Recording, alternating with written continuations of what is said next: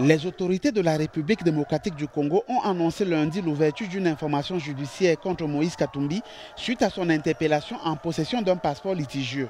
Il a été interpellé la semaine dernière dans un aéroport de la capitale belge avec un passeport falsifié, mais il a néanmoins été autorisé à rester en Belgique. Selon l'opposant congolais en exil, les passeports semi-biométriques tels que le sien ont été retirés du système et sa demande pour un exemplaire biométrique a été rejetée. Il peut tout de même compter sur de nombreux soutiens en RDC, dont celui de son club, le TP Mazembe. C'est un opposant politique qui est en exil.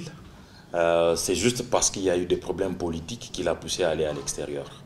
Il veut à chaque fois revenir, mais avec la politique, on ne l'autorise pas à rentrer chez nous. Moïse Katumbi, homme d'affaires et ancien gouverneur de l'ex-province du Katanga, est l'un des candidats déclarés à la présidentielle du 23 décembre prochain. tokolala tokokanisa